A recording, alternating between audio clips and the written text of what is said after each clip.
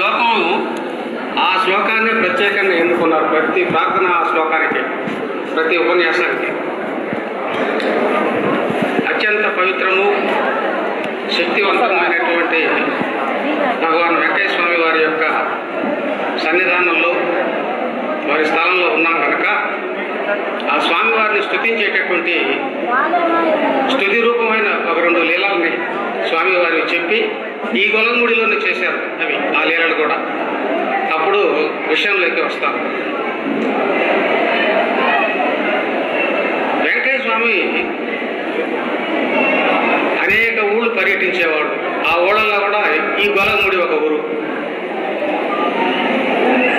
ఈ ఊరికి వచ్చినప్పుడు ఆయన కావలసినటువంటి అగ్నిహోత్రానికి కావలసినటువంటి కట్టెలు మొదలైనవన్నీ స్వామివారి సేవకులు సేకరించి పెట్టేవారు.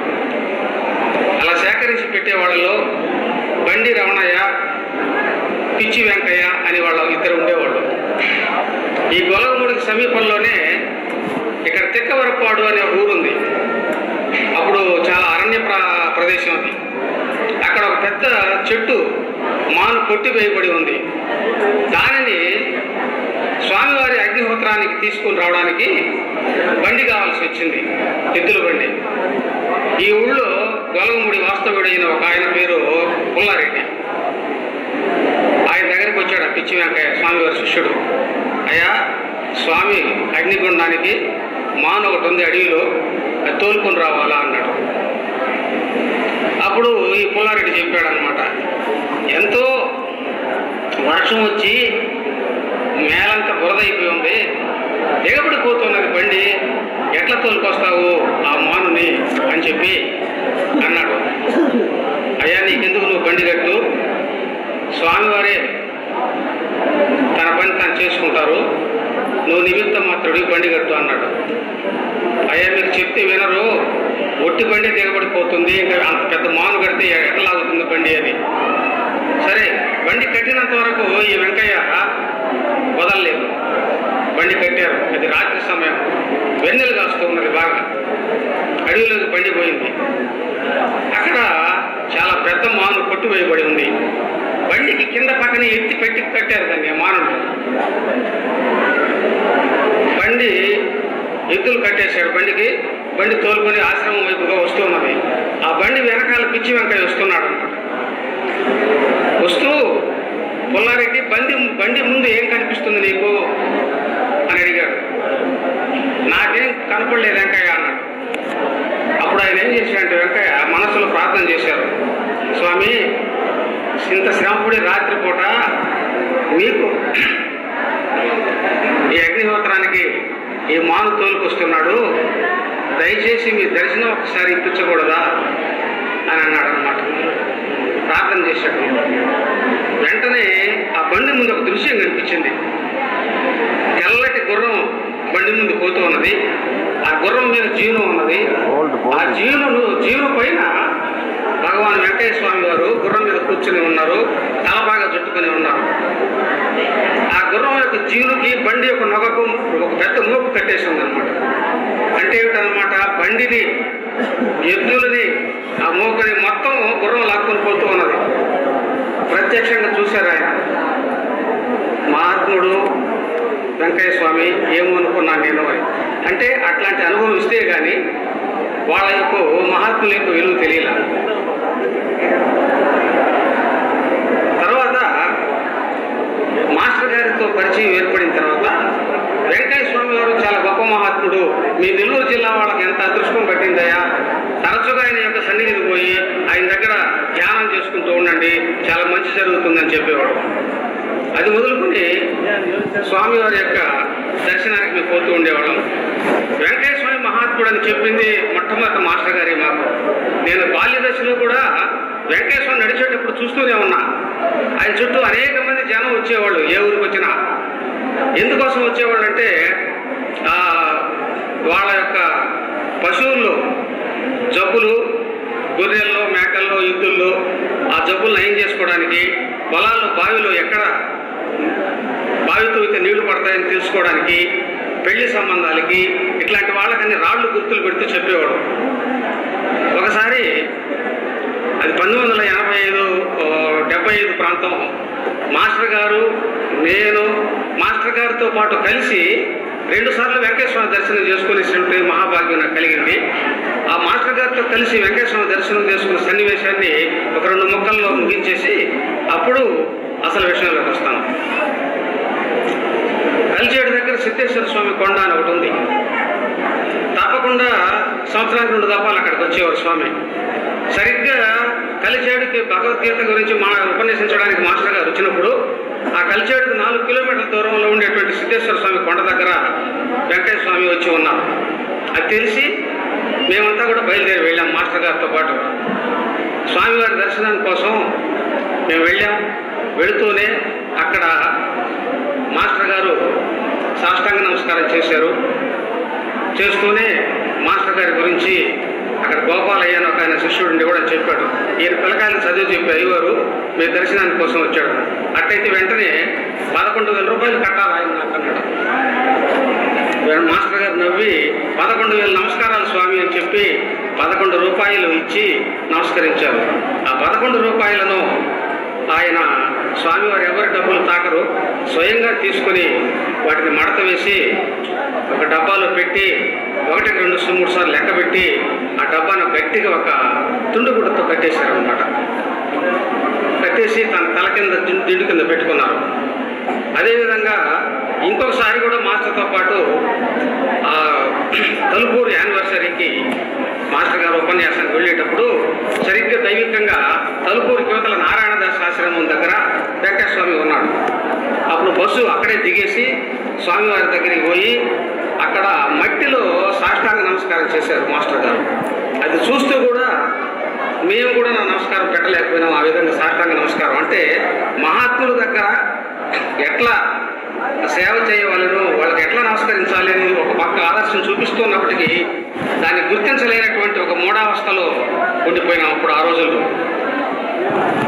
తర్వాత పంతొమ్మిది వందల డెబ్బై రెండు డెబ్బై మూడు ప్రాంతాల్లో ఇంటర్మీడియట్ చదివేటప్పుడు మాస్టర్ గారిలో అందరు లెక్చరర్స్ కంటే కూడా ఒక విలక్షణమైనటువంటి ఒక పద్ధతి ఉండేది మాస్టర్ గారికి.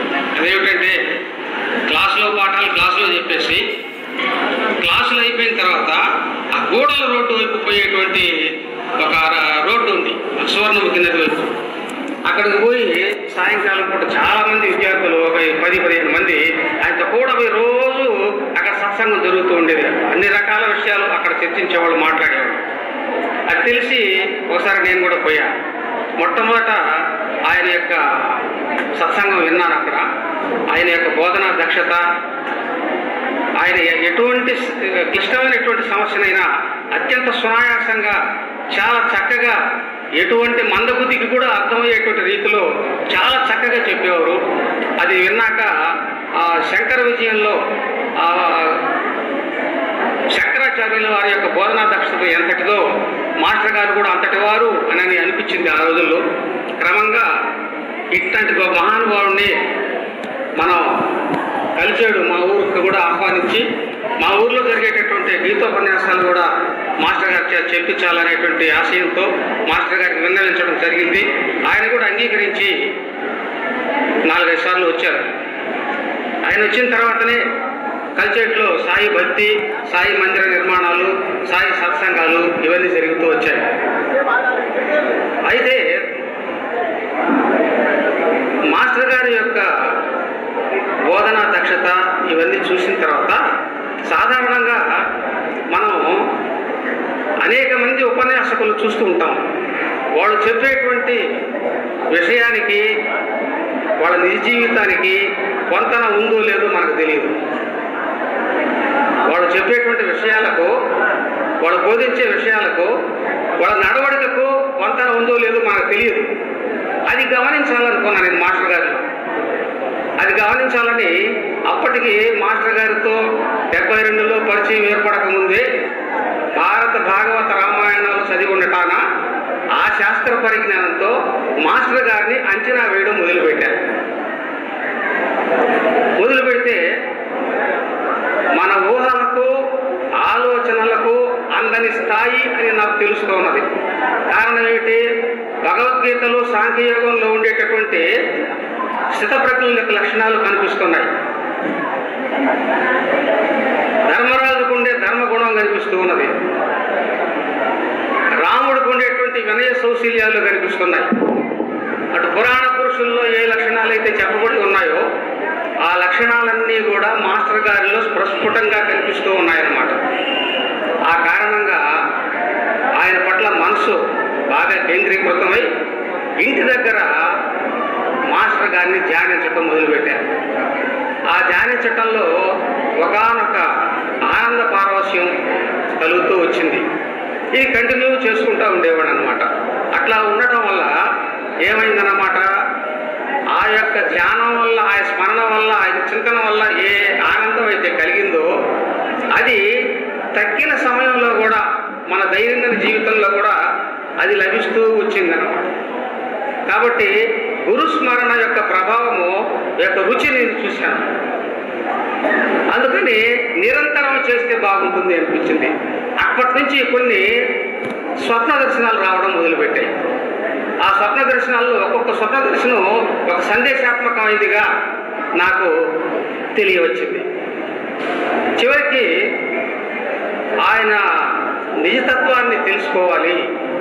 ఆయన నిజతత్వం ఏమిటి?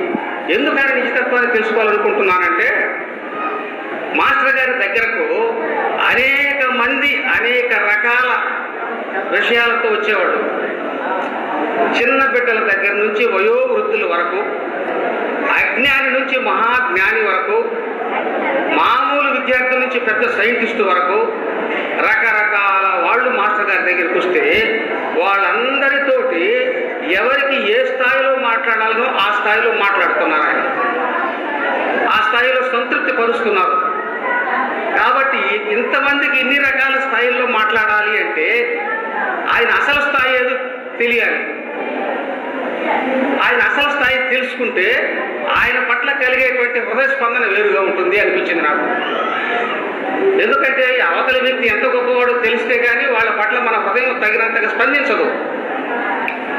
ఈ అసలు తత్వాన్ని తెలుసుకోవాలని చాలా తాపత్రయపడ్డా.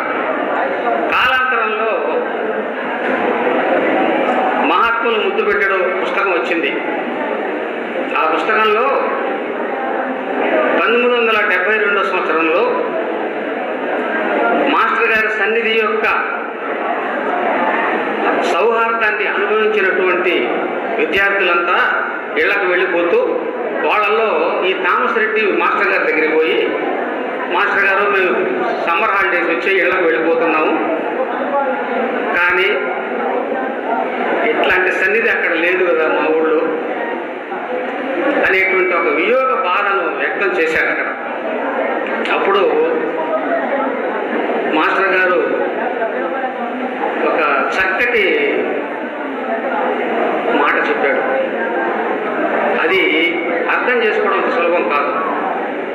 ఆ మాట ఏమిటంటే ఏదైతే శూన్యమో అది నన్నుగా గుర్తించు అన్నాడు. అది ఆయనకు అర్థం కాలేదంట ఆ రోజుల్లో.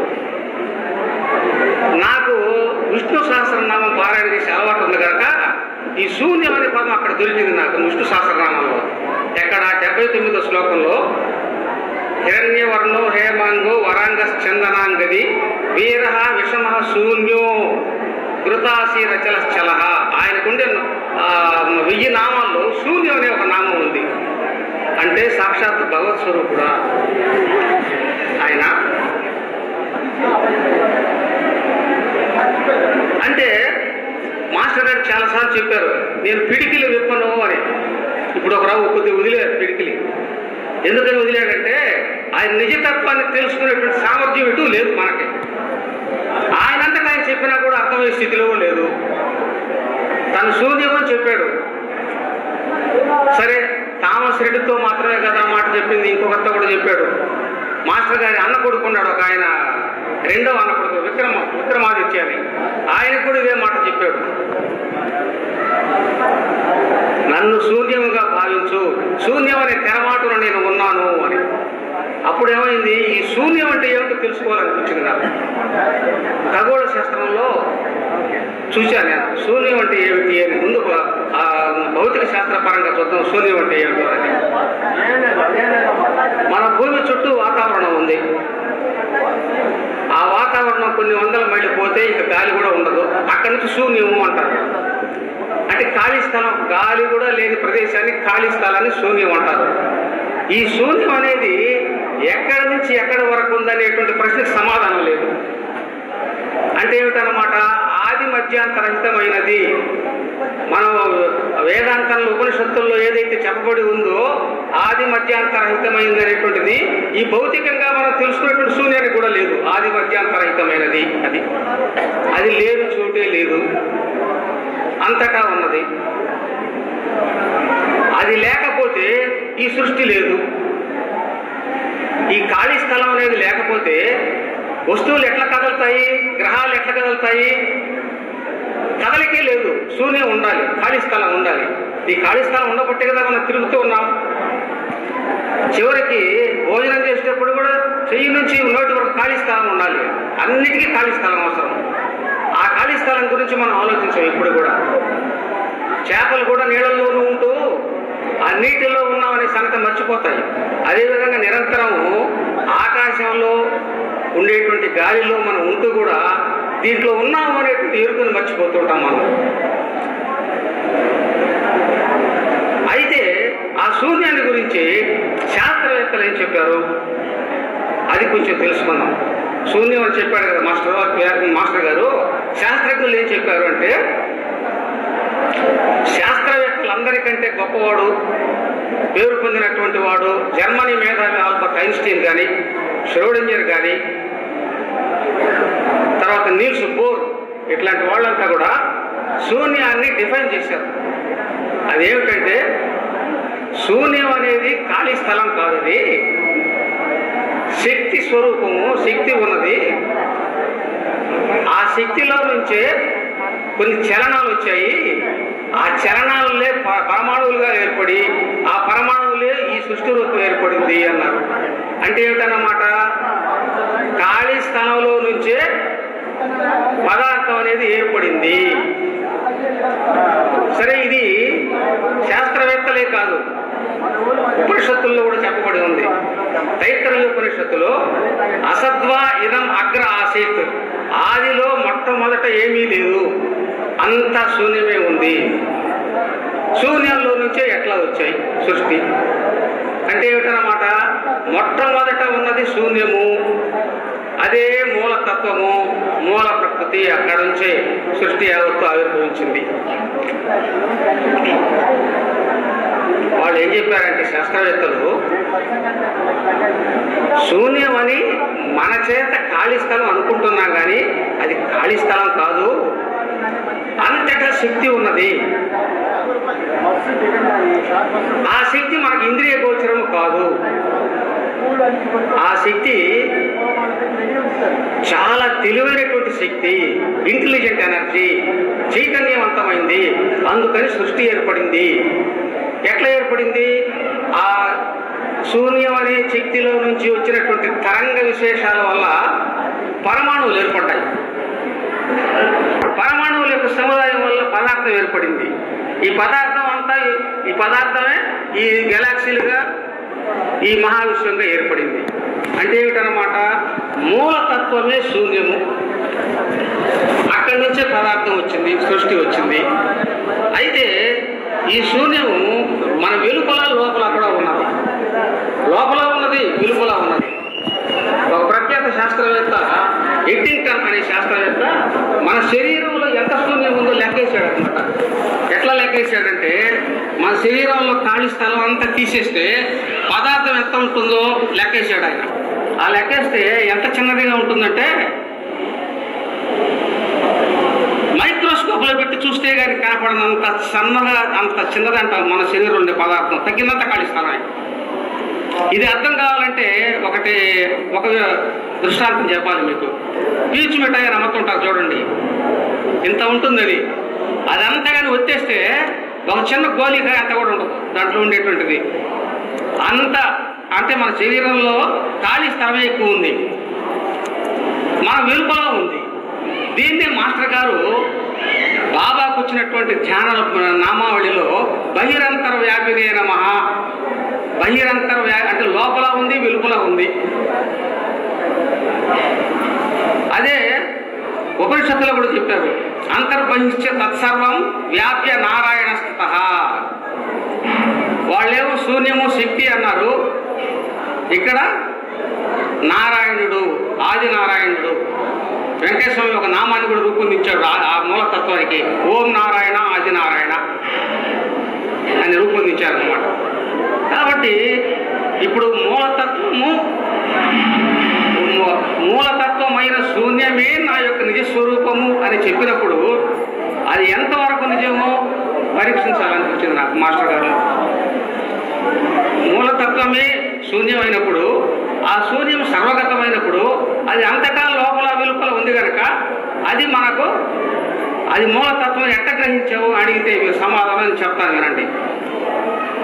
ఒకనొక రోజున నా వృత్తి రీత్యా ఊరికి వెళ్ళాను. అక్కడ వెళ్ళిన తర్వాత వాళ్ళు ఏం చేశారంటే ఊరి బయట ఒక జంక్షన్ ఉంది మూడు రోడ్లు కూడా అక్కడ వదిలేసి వాళ్ళ పాటికి వాళ్ళు వెళ్ళిపోయినారు. ఏదో ఒక బండి వస్తే పోయి పోమన్నారు. చుట్టూరా జనసంచారం లేదు చీకటి పడిపోయింది. వాళ్ళు వస్తాయో రావో రెండు తెలియదు. అప్పుడు ఈ మాస్టర్ గారు చెప్పినటువంటి మూలతత్వం ఉంది. ఆ మూలతత్వం సృష్టి ఏర్పడిన తర్వాత ఏర్పడక ముందు ఏర్పడిన తర్వాత సృష్టి లయించిపోయిన తర్వాత కూడా ఉండేదే గనక ఇప్పుడు మూలతత్వంగా ఉండేటువంటి మాస్టర్ గారు నాకున్నటువంటి పరిస్థితిలో ఆయన దయ ఎట్లా అనుభవం అవుతుందో పరిశీలించాలని సగుణ రూపంగా మాస్టర్ గారిని ధ్యానించడం మొదలుపెట్టాను నాకున్న పరిస్థితి ఏమిటి? నేను వెళ్ళాలి నెల్లూరుకి వెళ్ళాలి అక్కడి నుంచి. ఓం ఆచార్య భరద్వాజ గురుదేవ అనేటువంటి నామాన్ని స్మరిస్తూ ఒక ఐదు నిమిషాలు అయిందో లేదో ఒక అపరిచితమైన వ్యక్తి నా దగ్గరికి వచ్చి బైక్ ఆపేసి తన దగ్గర నా దగ్గర ఎక్కువ బండి అన్నాడు. ఆకస్మికంగా జరిగినటువంటి ఆ సన్నివేశానికి ఉదయం ఎంతో పలికించి కృతజ్ఞతతో ఆయనకి హృదయం అంతా నిండిపోయింది. కృతజ్ఞత భావంతో. సరే ఇంకొక సన్నివేశం చెప్తాను అన్నమాట. అదేమిటంటే నా కుటుంబంలో నేను నిర్వహించాల్సినటువంటి ఒక ధర్మానికి తీవ్రమైన విఘాతం ఏర్పడింది. ఏర్పడ్డప్పుడు దాన్ని పరిష్కరించడానికి నా వల్ల కాల. సరే ఏ సమస్య అయినా పరిష్కరించగల సర్వసమర్థుడు గురువు కదా. ఆయన విన్నవించుకుందాం. ఆయన ఏం చేస్తాడు అని చెప్పి ఒక ప్రశాంతమైన సమయంలో మాస్టర్ గారి గురించి ఈ సమస్యని గురించి ప్రార్థించాలా అని అనుకున్నా. అనుకున్నానో లేదు అక్కడి నుంచి సమస్య పరిష్కారం ప్రారంభమైంది. ఇంకా ప్రార్థన కూడా చేయాల. అంటే ఏమిటన్నమాట? హృదయంలో ఉండే భావము వెంటనే ఆయనకి తెలిసింది. వీడు ప్రార్థించాలనుకుంటున్నాడు వీడు ప్రార్థిస్తాడు. తప్పదు. కాబట్టి పరిష్కార మార్గం అక్కడి నుంచి ప్రారంభమైందనమాట ఎట్లా ప్రారంభమైందంటే నేను ఊహించిన దానికంటే అనేక రెట్లు నాకు అనుకూలమైనటువంటి పరిస్థితి ఏర్పడిపోయింది.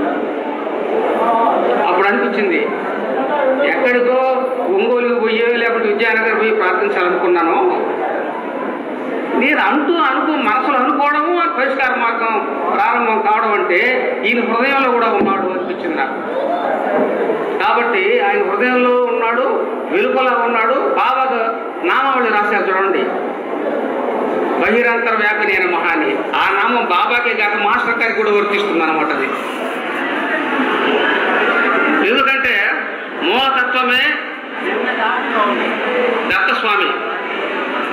దత్తస్వామి యొక్క అవతారాల్లో అక్కలకోట స్వామి కూడా చెప్పాడు ఇదే విషయాన్ని మూలము మూలానికి మూలం అన్నాడు ఆయన. ఆ తత్వమే మాస్టర్ గారు కనుక హృదయంలో ఎప్పుడైతే అనుకున్నానో లేదో వెంటనే పరిష్కార మార్గం గోచరించేటప్పటికీ ఆ పరిష్కారం ప్రారంభమైంది. అప్పుడు ఎంతో ఎంత ఆనందించానంటే చెప్పడానికి లేదన్నమాట. అంతగా హృదయం కుంగిపోయింది నాకు. ఇట్లా గురువుని పరిశీలించి పరిశోధించి పరీక్షించి నిర్ణయించుకోవాలి ఎవరైనా కూడా గురువును. అసలైన గురువు ఎట్లా ఉంటాడు అని తెలుసుకోవాలి. తెలుసుకున్నాను కనుక ఆయన ఒక నిర్దిష్టమైనటువంటి ప్రణాళిక ప్రకారం ఆయన ఆ సద్గురువుని నిర్ణయించుకుని ఆయన్ని గురువుగా నిర్ణయించుకున్నా ఆయనకి నాకు జరిగినటువంటి కొన్ని సంభాషణలు వివరిస్తాను. చూడండి. ఇక్కడే ఈ గొలగమూడిలోనే మాస్టర్ గారితో కొన్ని కొంత సంభాషణ జరిగింది నాకు. మాస్టర్ గారు కొంతమంది ఫలితం ఆశించి మహాత్ములకు సేవ చేస్తూ ఉంటారు. కొంతమంది ఫలితం ఆశించకుండానే చేస్తూ ఉంటారు. ఫలితం ఆశించకుండా చేసేటువంటి వాళ్ళ యొక్క ఫలితాన్ని ఎట్లా ఉంటుంది? మహాత్ములకి అడిగా ముక్తి అన్నాడు ఆయన అంతే. ఒకటే ముక్క. సరే నువ్వేం చేస్తావంటే నువ్వు గురు చరిత్ర తీసుకుని ఒక మైక్ దగ్గర కూర్చొని నువ్వు కూడా పారాయణ పెద్దగా చదువు వింటారు అందరూ అన్నాడు. అప్పటికక్కడ ఏం జరుగుతుందంటే ఆరాధన జరుగుతుంది మా వెంకటేశ్వరం ఆరాధన. మూడు దగ్గరలో మూడు మైకులు ఉన్నాయి. ఎవరు ఏ మైక్ వాళ్ళు ఏం చెప్పేది ఒకటి స్పష్టంగా తెలియడం ఒక మైకులో పద్యాలు ఒక మైకులో ఏదో భజనలు ఇంకొక మైకులో ఇంకేదో పాటలు. రకరకాల శబ్దాలతో చెవులు హోరెత్తి ఏది స్పష్టంగా వినపడదు గందరగోళంగా ఉంది కిరణాల మాదిరిగా. అయితే తరుణంలో మాస్టర్ గారు గురు చరిత్ర మైకులు చదువు అని చెప్పాడు. మాస్టర్ గారు ఇక్కడ ఎంత రచ్చ జరుగుతుంది? ఈ రచ్చలో ఈ గందరగోళం శబ్దాల్లో నేను గురు చరిత్ర చదివితే ఎవరు వింటారు మాస్టర్ గారు? మీలాంటి మహాత్ములు ఎవరైనా చదివితే మిమ్మల్ని చూసేనే ఎవరో పెద్ద ఆయన మహానుభావుడు చదువుతున్నాడని వింటారు కానీ నాలాంటి వాడు చదివితే ఎవరు వింటారు? అంటే గురువు యొక్క ఆజ్ఞను ధిక్కరించారు అప్పుడు చదవలా నేను. ఎవరు వింటారు మాస్టర్ గారు? గందరగోళం రచ్చ రచ్చగా ఉన్నాయి. అప్పుడు మాస్టర్ గారు చెప్పినటువంటి ఒక మాట మాస్టర్ గారి యొక్క మానసిక స్థాయి అందు నాకు అర్థమైంది. ఇక్కడ రచ్చ అనేది ఒకటి ఉందా? నువ్వు చెప్పినంత వరకు నాకు తెలియలేదు అన్నాడు. ఇంత గందరగోళం జరుగుతుంటే అది బుద్ధిగా వినపడలేదు అంటది అంటే మానసికంగా ఏ స్థాయిలో ఉన్నాడో ఆలోచించండి మాస్టర్ గారు. తర్వాత మనం దినము పూజ చేస్తూ ఉంటాం సాయినాథుడికి. ఆ పూజల్లో పూజ పాటికి పూజ పోతుంది వ్యవహారం పాటికి వ్యవహారంలో మునిగిపోతూ ఉంటాం మా మామూలుగా.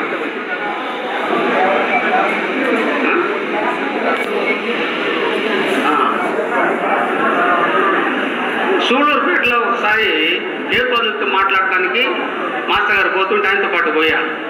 అక్కడ ఒక ఇంట్లో సాయినాథుడు సాయినాథుడు సత్సంగమూర్తి పటం ఉంది.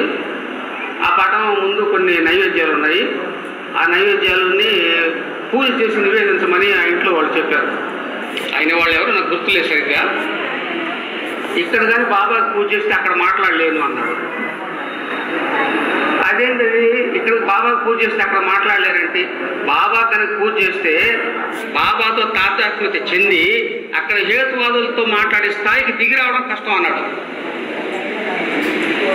అంతటి ఒక్కొక్క నామాన్ని మూడే సార్లు చదువుతారు మాస్టర్ గారు. చాలా చక్కగా ఉంటుంది పూజ. తాదాత్మ్యత చెందుతాడు ఆయన నామావళి. అంటే ఆ కాంట్రవర్సీ చూడండి. ఆ కం- అంటే ఎందుకు చెప్తున్నానంటే అవన్నీ కూడా ఆయన ప్రత్యక్షంగా చూశాను కనుక ఆయనకు మనకు ఉండేటువంటి వ్యత్యాసం ఆయన యొక్క చేసినటువంటి చర్యల్లో మనం నేర్చుకోవాల్సినటువంటి ఆదర్శం చాలా స్పష్టంగా తెలుస్తూ ఉంటుంది. ఇక్కడ ఆయన ద్వారా ఒక రక్షణ పొందాము. ఆ రక్షణ ఎట్లాంటిది అంటే ఇప్పుడు సోదరుడు చెప్పాడు పంతొమ్మిది వందల ఎనభై ఐదు ప్రాంతంలో ఒక గొప్ప ఆయన అనుగ్రహం చేశారు. అదేమిటంటే ఎనభై ఐదులో నా భార్య గర్భవతిగా ఉండేటప్పుడు ఒక మహాత్ముడు దర్శనమిచ్చి నీ గర్భంలో ఉండే శిశువు మగపిల్లవాడు అయినా ఆ పిల్లవాడు బతకడు అని చెప్పాడు.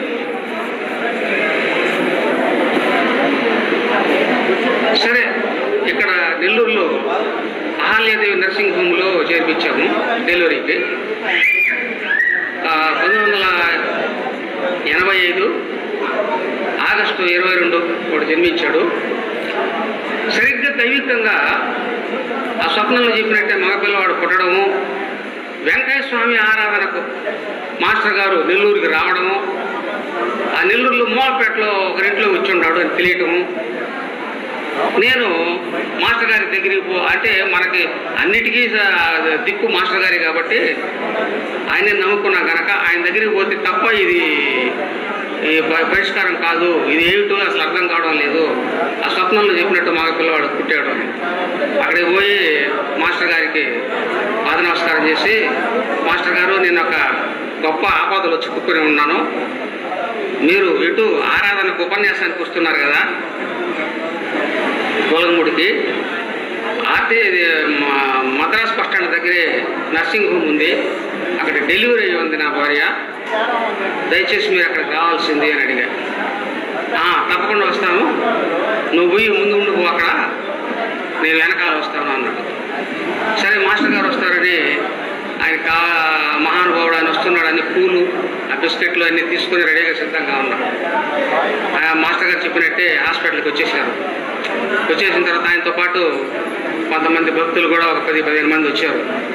వచ్చినప్పుడు ఆసుపత్రిలోకి ఎంటర్ అవుతూనే ముందు పూలమాలు వేసి కొన్ని బిస్కెట్లు చేతిలో పెట్టాను ఇక్కడ ఎందుకు ఈ హాస్పిటల్ ఇదంతా అన్నాడు. మాస్టర్ గారు సత్పురుషులు ఎక్కడైనా పూజలే కదా అన్నాడు సరే అమ్మాయి దగ్గరికి పోదాం పదా అని చెప్పి నా భార్య చెప్పిందంతా శాంతం విన్నారు. విని ఇది ఇది పరిష్కరించలేని పరిష్కరించరాని చాలా జటిలమైనటువంటి సమస్య అమ్మా. నేనేం చేసేది అన్నాడు. అప్పుడు నేనేమన్నా అంటే మాస్టర్ గారు మీకంటే మాకు దిక్కెవరు మీరే ఆ మాట అంటే మిమ్మల్ని నమ్ముకున్న మీకు మేమేం కావాలన్నాం. సరే ఒకసారి ఆకాశం కేసి చూశారు ఆయన పైకి. చూసి సరే నేను స్వామి దగ్గరికి వెళుతున్నాను వెంకటస్వామి స్వామి దగ్గరికి. ఈ పసికందును తాకరాదు.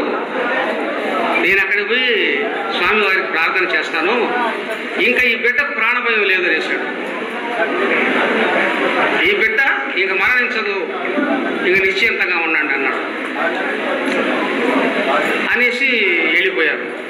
వెళ్ళిపోయేటప్పుడు ఎప్పుడు మాస్టర్ గారితో కూడా ఒక పది పదిహేను మంది ఎప్పుడు ఆయన్ని ప్రశ్నలు వేస్తూ ఆయనతో కూడా ఉంటున్నారు భక్తులు. వాళ్ళకి ప్రశ్న సమాధానాలు చెప్పడంలోనూ వాళ్ళ మధ్యలో ఇది ఎక్కడ మర్చిపోతారు ప్రార్థన చేయడం అని నేను కూడా నేను పోయిన మా గుర్తు చేయడం కోసం కూడా వచ్చా. కూడా వచ్చే తెలుగు ఈ సుబ్బరామ గారు ఏం చేశారంటే నువ్వు పుస్తకాల దగ్గరుండు అవి అమ్ముకుంటాను అన్నాడు. అంటే మాస్టర్ గారి నుంచి నన్ను తెప్పించేశాడు ఆయన. ఆయన గుర్తు చేయలేదు. తర్వాత ఆ పుస్తకాలు అంగడి దగ్గర పెట్టేశారు ఆ పుస్తకాలు అమ్ముకుంటే అక్కడ కూర్చున్నాను నేను. తర్వాత మాస్టర్ గారు సుబ్రహ్మణ్య గారి ఇంటికి పోయిన తర్వాత సుబ్రహ్మణ్య దేవుడి గదిలోకి పోతాను. ఒక గంట సేపు మాత్రం ఎవరిని అలవ చేయొద్దు బయట వచ్చేసి అని అన్నాడు. అక్కడ పోయి ధ్యానం చేశాడు. ఆ ధ్యానం ఒక గంట తర్వాత గంటకు ఒక ఐదు నిమిషాలు ఉందనంగా మాస్టర్ గారి దర్శనానికి కొంతమంది వచ్చి మాస్టర్ గారు సుబ్రహ్మణ్య గారి ఇంట్లో ఉంటారని చాలా పెద్ద గొడవ పెడుతున్నారు. అయిపోయింది సార్? చివరకు తాజుద్దీన్ బాబా దగ్గర నుంచి ఒక ప్రసాదం ఒక పెద్ద ప్యాకెట్ వచ్చింది. ఆ ప్యాకెట్లో ప్రసాదం అందరికి మాస్టర్ గారి చేతితోనే వేస్తూ నా చేతిలో కూడా వేసి నీ కొడుకును మనసులో స్మరించి ఈ ప్రసాదాన్ని తిను అన్నాడు. అదేవిధంగా ఆ ప్రసాదాన్ని తీసుకున్నాను. తీసుకున్న తర్వాత వాడు ఈరోజు ఎం ఫార్మసీ పాస్ అయిపోయి లక్షణంగా బెంగళూరులో ఉద్యోగం చేస్తున్నాడు వాడు. అట్లాగే ఇంకో సన్నివేశం కూడా ఉంది వ్యవధి లేదు కనుక అయిపోయింది. ఆ మాస్టర్ గారు ఇచ్చినటువంటి స్వప్నాల్లో ఒక ఒక మంచి స్వప్నంలో ఒక సెంట్రల్ ఐడియా ఒకటి చెప్తాను. ఆయన ఏం చెప్పాడంటే ఆ స్వప్నంలో నిరంతరము నన్నే స్మరించు నన్నే ధ్యానించు నా నామాన్ని స్మరించు. నా చింతన తప్ప నీకు వేరే ఇంకేం అవసరం లేదు. ఏ దేవి దేవతను పూజించాల్సిన అవసరం లేదు. ఒకవేళ నీవు ఏ దేవాలయానికైనా ఏ ఎక్క వెళ్ళి అక్కడ పూజ కనుక చేస్తే ఆ దేవత రూపంలో నేనే అక్కడ ఉంటాను. కాక నన్నే నీ ఆలోచనలకు లక్ష్యంగా చేసుకో. అలా చేస్తే నేను నీ హృదయంలో ఉంటాను. ఏమైనా అయినా కూడా తన భక్తుడికి ఇంతకంటే ఇవ్వాల్సినటువంటి వరం కానీ కోరవలసింది ఏముంది? అందుచేత ఇరవై ఎనిమిది ఇరవై తొమ్మిది సంవత్సరాలు అయిపోయినా ఇప్పటికీ పంతొమ్మిది సమ్మేళనాలు జరిగి మనందరి హృదయాలను ఆయన సౌహార్దంతో ప్రేమతోటి ఇక్కడికి ఆకర్షించగలుగుతున్నాడంటే ఆయన యొక్క ఆయన ఎంతటి వారు ఆ మూలతత్వం నుంచి సాక్షాత్తుగా కొంతమందికి సాయినాథుడిగా దర్శనమిచ్చాడు. కొంతమంది దత్తాత్రేయ స్వామికి దర్శనమిచ్చాడు. కొంతమందికి నరసింహాకృతిగా దర్శనమిచ్చాడు. ఇంతమందికి నీ దర్శనాలు ఇవ్వాలంటే ఈ దేవతా రూపాలన్నీ ఏ మూలతత్వంలో నుంచి వచ్చాయో ఆ మూలతత్వమే మాస్టర్ గారి యొక్క నిజ స్థితి అని నాకు నేను భావించాను విశ్వసించాను. అందుకు తగిన అనుభవాలు కూడా వచ్చాయి వస్తున్నాయి. ఎప్పటికీ వస్తాయి.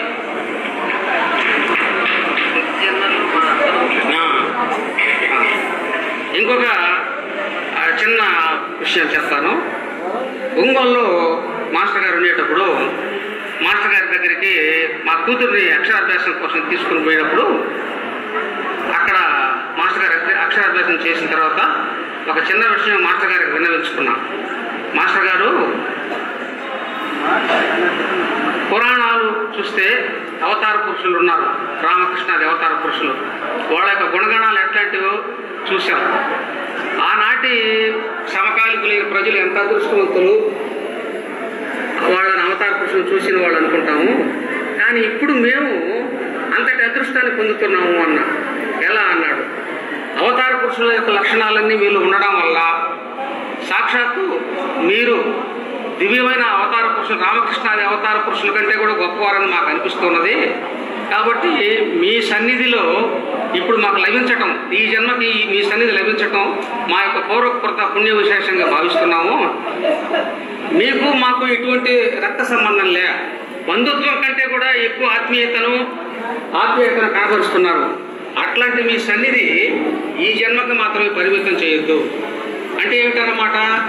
మనకి ఇంకా రాబోయే జన్మలు కూడా ఉన్నాయి. ఈ జన్మకి ముక్తి రాదని తెలుసు మాకు. కారణం ఏమిటి?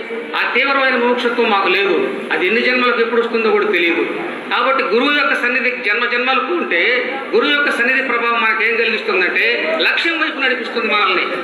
అందుకని మీ సన్నిధిని మాకు అనుగ్రహించండి అని వేడుకున్నా. అది నీవు ఒక వరం రూపంలో అడగాలనా? అది ఎటు నీకు లభిస్తుంది కదా అన్నాడు. రేటు నీకు లభిస్తుంది. ప్రత్యేకంగా ఎలా లభిస్తుంది అంటే ఒక దృష్టాంతం చెప్పారు. గత జన్మల్లో సాయినాథుడితో అనుబంధం ఉండే వాళ్ళందరినీ కూడా షిరిడీకి సాయినాథుడు ఏ రీతిగా సమీకరించుకున్నాడో అదే రీతిగా మిమ్మల్ని అందరూ నేను సమీకరించుకుంటాను. ఇక మీకు అభయ భయం లేదు. నా సన్నిధి మీకు జన్మ జన్మలుగా ఉంటుందని మనందరికీ అభయాన్ని ఆశీస్సులు అనుగ్రహించాడు ఆయన.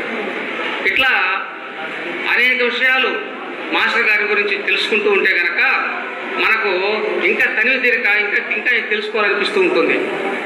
అందుచేత ఆ మాస్టర్ గారి యొక్క నిజతత్వాన్ని కనుక తెలుసుకుంటే ఆయన పట్ల మరింత దృఢమైనటువంటి భక్తిభావం ఏర్పడి మనకు ఆయన ఆయనను నిరంతరం ధ్యానించేటువంటి స్మరించేటువంటి చింతన చేసేటువంటి అవకాశం వస్తుంది. కాబట్టి మాస్టర్ గారు మూలతత్వము మూలతత్వమే మాస్టర్ గారిగా అవతరించింది. అనేటువంటిది సుస్పష్టమైన విషయము.